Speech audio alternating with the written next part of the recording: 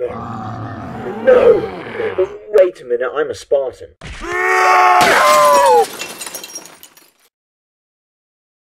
Well, I guess this is why people don't make zombie films involving power armor.